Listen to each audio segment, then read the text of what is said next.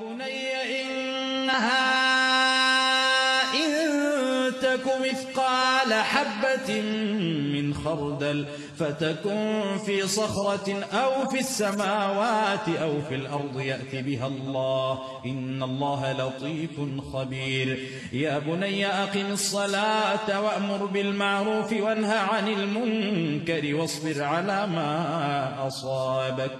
إن ذلك من عزم الأمور. ولا تصعر خدك للناس ولا تمشي في الأرض مرحا. إن الله لا يحب كل مختال فخور. واقصد في مشيك واغضض من صوتك.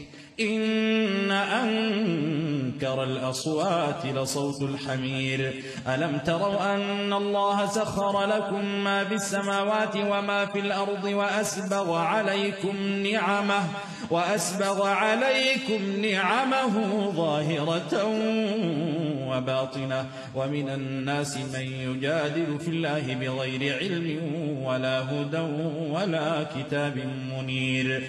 وإذا قيل لهم اتبعوا ما أنزل الله قالوا بل نتبع ما وجدنا قالوا بل نتبع ما وجدنا عليه آباءنا